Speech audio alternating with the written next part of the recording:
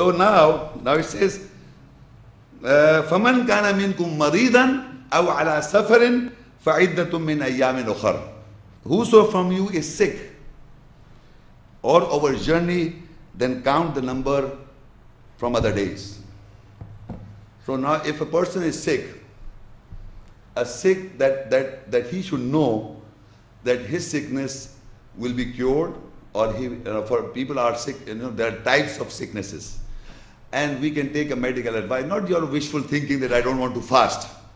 Not your wishful thinking, I don't want to fast. It is doctors, medical experts, they know you are not feeling well, you require medicine, and, and, and it's not good for your health at this particular time. So Allah is giving you a margin.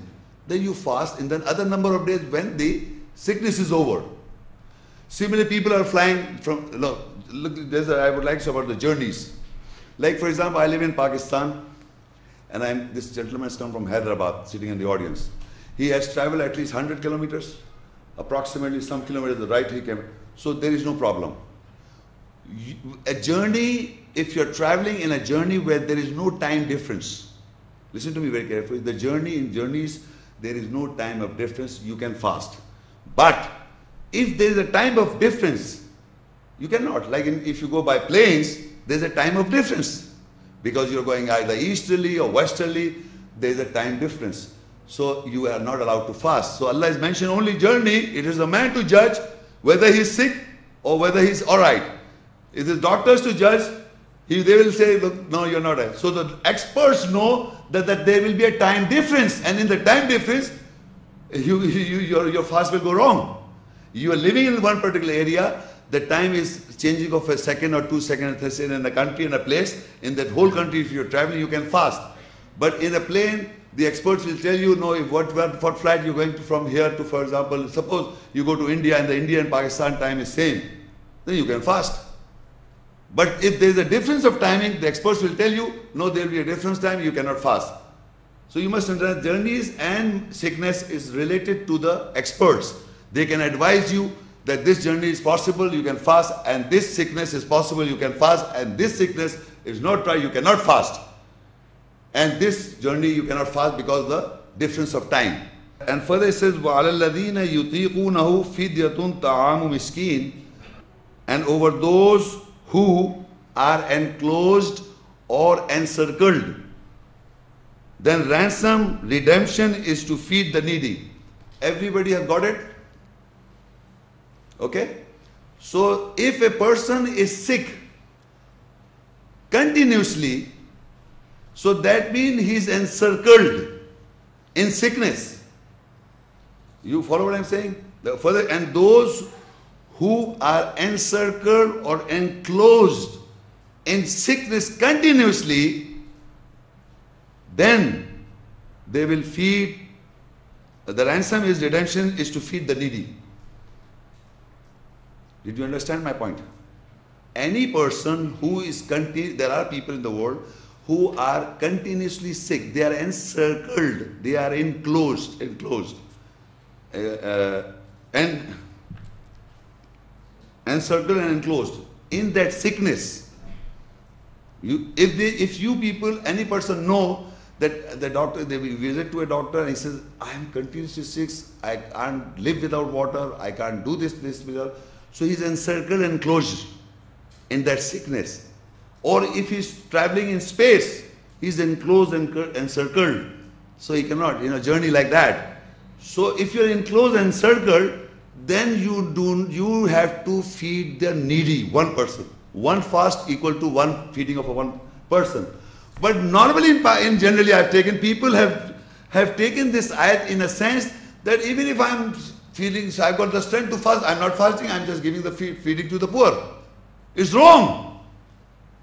It is only when you are encircled of sickness continuously, or if you're in circles or a journey where the time difference is continuous, you cannot fast. So then you feed the one person, needy person. Otherwise, you have to fast. And the sickness is over, you have to again fast. Again fast. When the sickness is over. But the sickness is, if you're encircled with sickness, and the doctors know the experts know that no, it's not right for you to fast, So it's not, then you, you are encircled in sickness, you can feed the poor, the needy, sorry, the miskin, masakin, miskin. And so, who, so whosoever voluntarily does betterment, then it is better for him. And that you fast, it is better for you if you know. So in this whole ayat, we have got the point that we are fasting in the month of Ramadan. Why? Because the Quran was sent down as a guidance. We take, can take guidance from it. Secondly, the purpose of fast is to take God. And if I am sick or I am a journey, a sickness that can be cured, you know, you can complete the fast in the other days. And if I the journey is complete, I can complete the fast in the other days. But if such a journey or such a sickness that you are encircled in it or enclosed in it, then you have to feed the needy. You follow what I'm saying?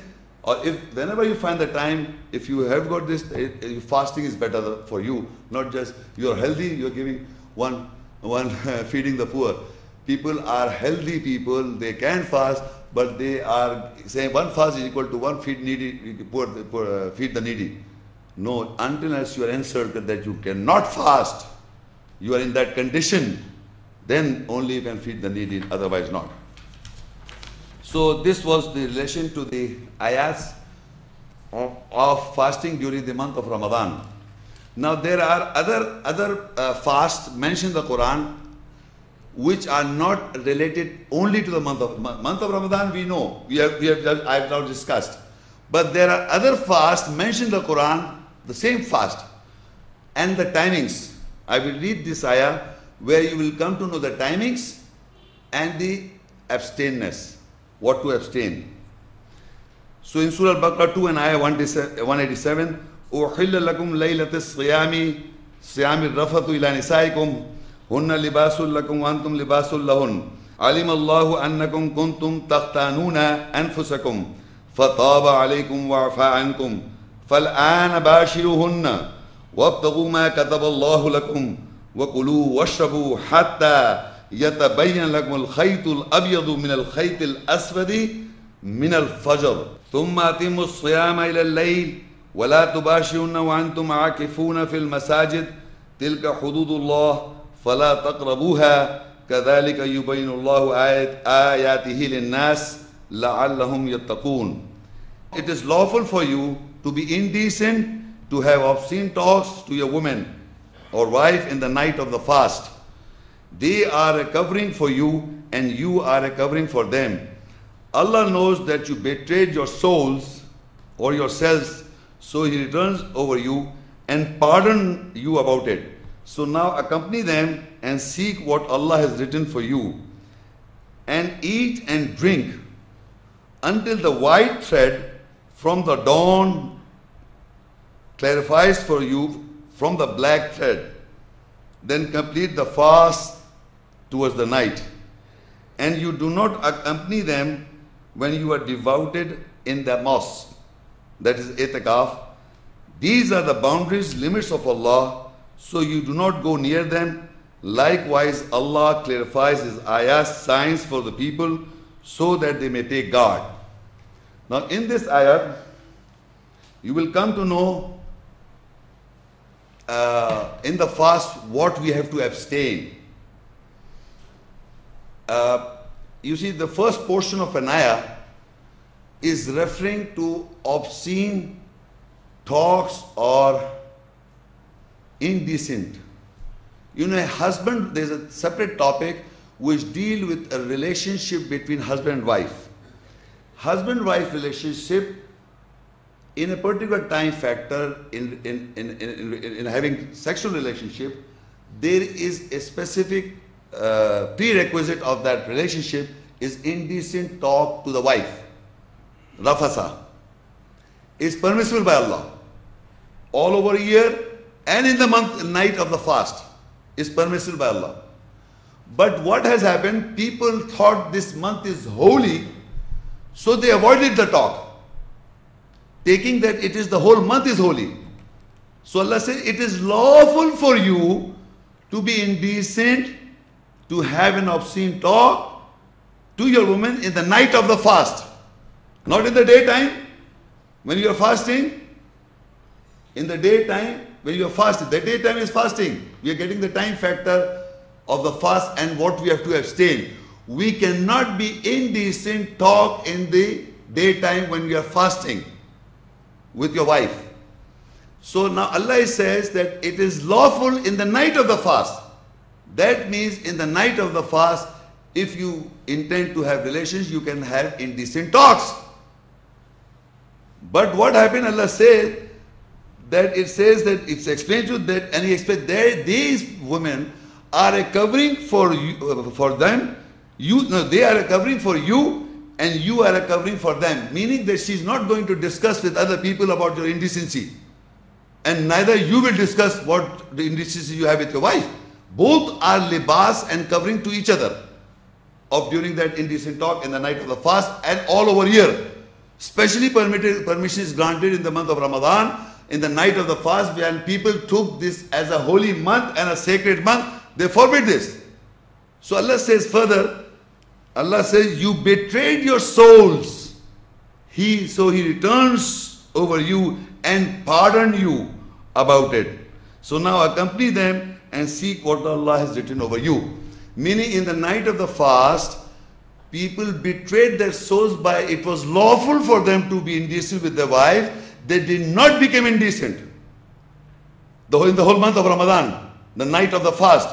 So Allah says that Allah pardoned you and He expects you to, if you were not, if you were making, taking as a holy whole month, in the night of the fast also you were not being indecent to your wife. So He says, He has pardoned you and, and, and pardon you about it. So now accompany them and see what Allah has written over you. Mean you can be indecent. It's lawful for you.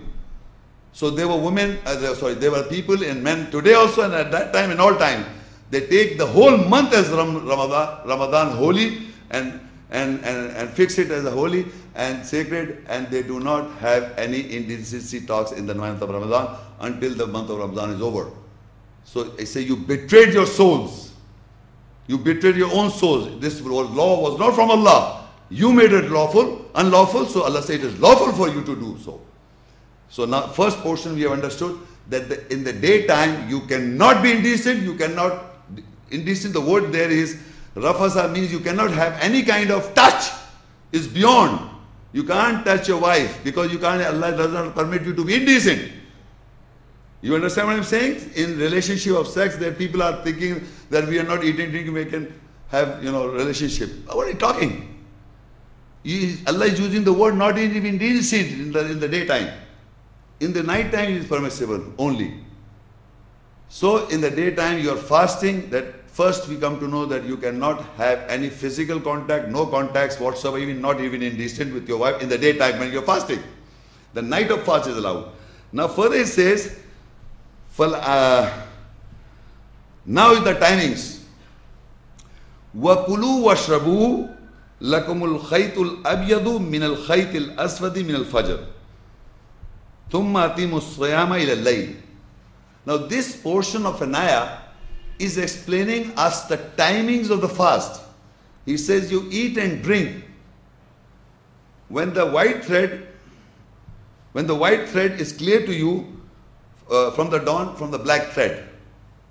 Now this is known as a twilight time meaning the time before the sunrise. Before the sunrise, when the uh, when the sun starts to come, before the, uh, the, the, the sun, actually you see, don't see the sun, but you see the darkness is removed. Little darkness is removed and that is the white thread from the black thread. The whole is black and when the light blackness is gone and the white thread you can see that is the time of closing the fast. Okay? Now it says further, Thumma atimus siyama ila layl. Then you complete the fast when? Hello? When you complete thumma atimus siyama ila when you complete the fast ila layl, towards the night. Towards the night. The, yeah, okay, hold on. The very important point. It says towards the night, not in the night. There are communities that you call Shia group they, they open the fast in the night. If it would be in the night, would be fil layl. Fi means in. Ila means towards the night, as the night approaches. And it would be fil layl means in the night. The word night is there, I understand. But the question is, Allah does not say fil layl means in the night. So he said towards the night. So the moment sun sets, it's the beginning of the night. So the, Allah says, Thumma siyam ilal lay." You complete the fast towards the night, not in the night. If you complete the fast in the night means you are making late for 10 minutes, whatever the minute says. You are establishing the night, then you opening the fast. So Phil, I have to make this important because people are making this, they, you say, it says layl in the Quran. Of course it says Layl, but what does it say? It doesn't say Fil Layl means in the night, it says towards the night. Night doesn't be, our night begins the moment the sun sets, is set, the night begins. And even the opening of the, the closing of the fire, it's not the in the daytime. It's not the daytime. It says the white thread and the black thread is clear. It's not day, it is just night, starting of the night, or starting of the day. It is not, it, that same is the, uh, when you, the sun sets, it is again twilight time. Not, the moment it sets, it is there. It is not in the night. The night is complete darkness. So you must understand. So now, here I would like to make one more point. You see this, uh, it says, it says very clear, I will read again. Hatta wakulu washabu, eat and drink. Hatta yatabayyana lakumul khaytul abyazu minal khaytil aswadi minal fajr. Fajr, the word is, it means daybreak. So he says, eat and drink until the white thread from the dawn, from the dawn means daybreak, clarifies to you from the black thread. The sun has not come out. It is just a change of color of blackness into slight whiteness. That is the daybreak. Okay? And it says that you will complete it during in the night, towards the night. Not in the night, towards the night. So now there are, you must understand that means that we are allowed to fast where night and day.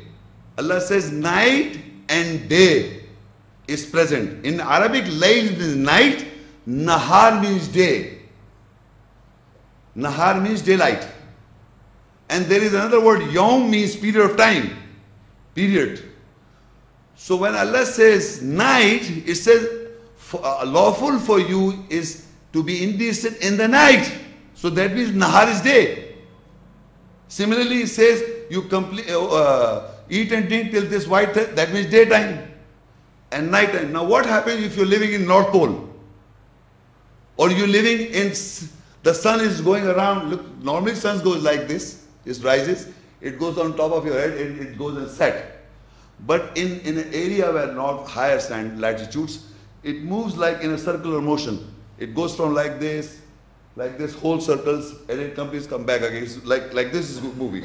It's not going up, it's just moving like this. I'm just in a layman's language, I'm explaining. So for example, east is there, and it, uh, you see the difference. You see, look, 6 o'clock, I'm just giving you example to explain to you. 6 o'clock is there, east, the sun rises. So now here in this world, we will see like this going, it will go like this, it will go like this, it will join here. Okay, sunrise, this D you make like this, or you make like this. Here, exactly same. And it will come like this, again it will be there. But it will go uh, down from the earth, it will come back from here again.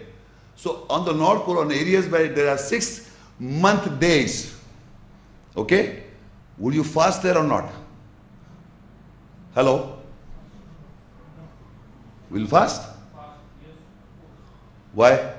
Did you say daylight? Did you say daylight did you say night? It says layl. I was telling you. You see, listen to me very carefully. The Quran says that daylight and the night. There is no night. So it's days.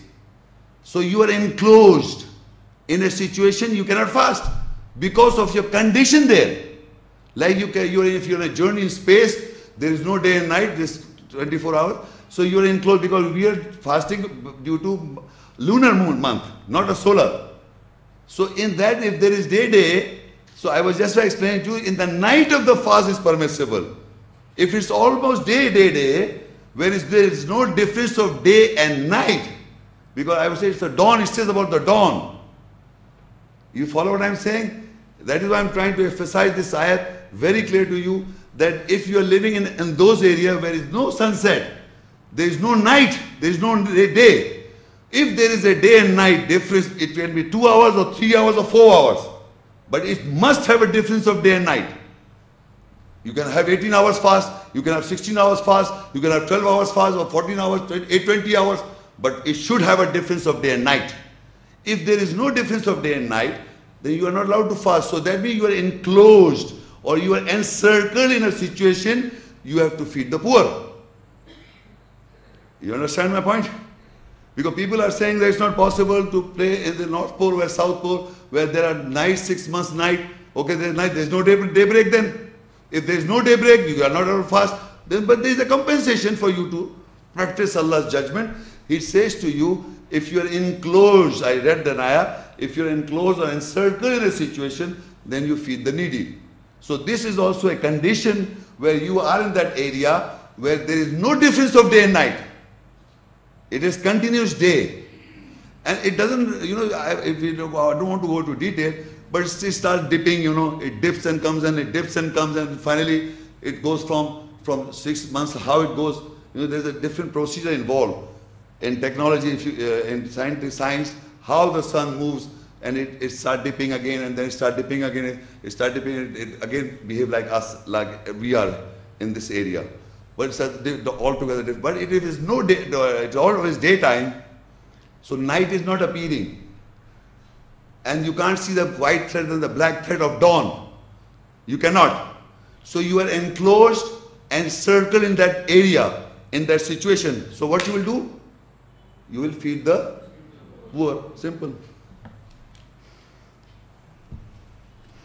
Now further the ayah says, وَلَا تُبَاشِرُنَّ وَأَنْتُمْ عَاكِفُونَ فِي الْمَسَاجِدِ And when you are devoted in the mosque, do not accompany your women. So now this is very important. I have people have not understood. I mean, they have understood, but you know, practices are going unusual practices. It says, "Wala tubashiruhunna antum akifuna fil masajid." So men are sitting in a mosque like etikaf. They say, men are sitting in the mosque, not women. Women are not sitting in the mosque. So he says, you will not uh, accompany or, or, accompany them, your women, when you are uh, sitting means when you're devoted in the mosque. So you will not have any uh, this kind of accompany them in the, in the in the mosque. You are sitting. Now what happened nowadays? Women are sitting in the house. Where does it say you sit in the house, woman? Does it say in the ayahs? It says akifuna fil masajid. So by I don't understand why can't people understand this ayah? It is referring to men. And, and men are asked to sit in the mosque for a period of time. That is 10 nights of the month of Ramadan. I will discuss, we will, we will see that 10 month, 10 nights of the last 10 nights of the, in the month of Ramadan, you can sit in the itikaf and devoted are men. So why women wants to sit in the mosque? And why Allah is not allowed them to go to, to do so? Because of menstruation, because of uh, childbirth or breastfeeding. So many things are with women that they are secluded or excluded from these kind of laws and rules and regulations of God. So you you say no, they can sit in the house. Who said that? They, Allah doesn't say this. It's in masjid. And masjid and house in Arabic, bait means house, bait means house, and masjid means place of prayer. They are two different words. So it says specifically, وَلَا تُبَاشُنَّ وَأَنْتُمْ عَاكِفُونَ فِي الْمَسَاجِدِ And you do not accompany your wives or women when you are in the masjid, devoted in the mosque. So men are sitting in the mosque last 10 nights of the month of Ramadan. That is itikaf. Suppose now these women, they go for Umrah and Hajj there in the sacred mosque and they can sit, can be devoted for a period of time Like for example, normally it's a practice, they go for Zohar prayers and they are uh, in wuzu or they are alright, they can sit till Maghrib, Isha, no problem. But these men have to sit 10 nights totally, 10 day and night, sorry, except for uh, Sari and Iftari uh, or go to the toilets, that's all. Then you have to be in the mosque all the time. So men can be devoted, women can be devoted for a small little period of time, but for not 10 nights. Because of the, oh, they don't have to sit in the house also. It's not mentioned in the book. So this is what I was just trying to. say. So he says, Tilka hududullah. These are the boundaries of Allah. Fala taqrabuha Do not go near them. كذلك يبين الله آياته للناس لعلهم يتقون. Likewise, Allah clarifies His ayat signs for people so they, take, they may take guard. So now the month of Ramadan, the fasting is, is, is clear to you, the time of fast is clear to us, and it is also clear in the daytime we have to abstain from loose talks and uh, obscenity, and the night of the fast we can. But once we're in the, the mosque, we are not allowed. So now these were the uh, fasting of the month of Ramadan.